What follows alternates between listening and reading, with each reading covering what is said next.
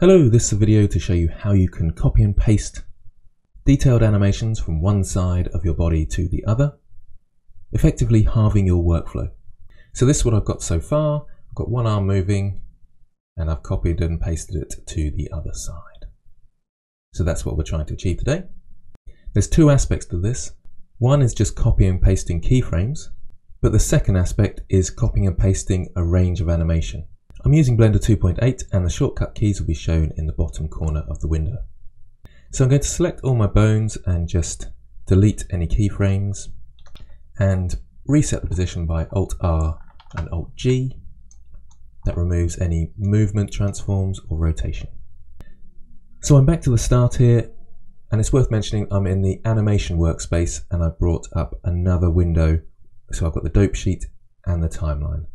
Dope sheet can be found here, and the timeline can be found here as well in the animation section. So I've got two windows at the bottom there to help me out.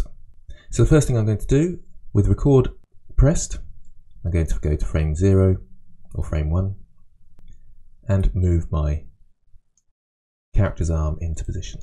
I'll select all the fingers, not the thumb, and I've got individual origins selected so I can press R XX for them to rotate in their local x-axis and then give them some slight bend the wrong way though. So they've got a bit of a natural bend to them and then I'll just rotate these down a little bit. So it looks more relaxed. Okay, so because we had record press, we've got a keyframe for all the fingers and thumb and the upper arm and forearm. I'm going to swing it back the other way now. So I'll go to frame about 15 and swing it back. I'm just doing this very roughly. I'll just change the position of those very slightly so there's a bit of animation or a bit of variation. Okay, so we've got an arm swing and I can copy the first keyframe, make sure I've got the different things selected that are keyframed. I'll copy that first one somewhere around there and we've got a flowing loop. So the first way of copying a keyframe to the other side is to Control C and Control Shift V to paste. So I'll select all those items that are keyframed. I'll go to that first keyframe and press Control C. Then I'll deselect them and select the other side. So all the keyframes I need on the other side. So now if I press Control Shift V, it will paste those keyframes from this side. Do make sure your mouse is in the dope sheet window, of course. And I could go through at this point and then select the different keyframes. I'd have to then offset this keyframe. So it's around here when that swings and then so forth. But what if I wanted to copy all that information from one side to the other? In order to do that, I'll go back to the other side and select that side. And you'd think it'd be a simple case of just selecting all the keyframes, Control C, and selecting this side and Control Shift V. But unfortunately, it doesn't work like that. So I'll just undo any changes there. Do remember that when you press Control V, it will paste it wherever the playhead on the timeline is. So in my case, I pasted it at 15 frames and the keyframes appeared there. If I want to copy all the information, I need to go to the graph editor.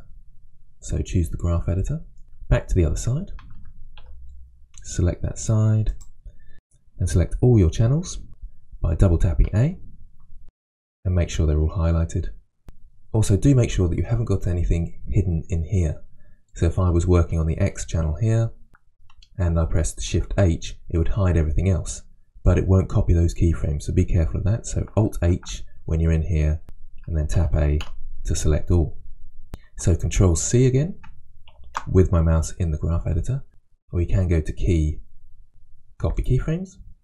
Now I'll select the other side, and I should be able to press Control Shift V with my mouse in the graph editor, and it will now paste those keyframes. But one thing to be aware of, if there's no keyframes in here, so let's delete all those keyframes, and I press Control Shift V, nothing will happen. So I have to have some sort of keyframe in here.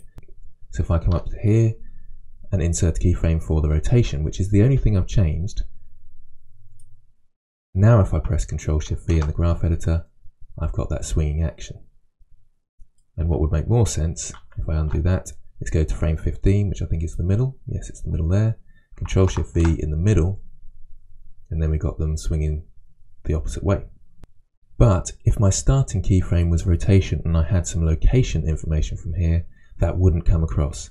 So when you insert your first keyframe for that side, if it's got no keyframes there, make sure it's the same as the other side in terms of what's being keyframed.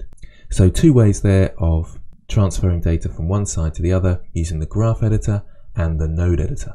The graph editor will copy lots of animation and the node editor will only copy and paste flipped with a single keyframe.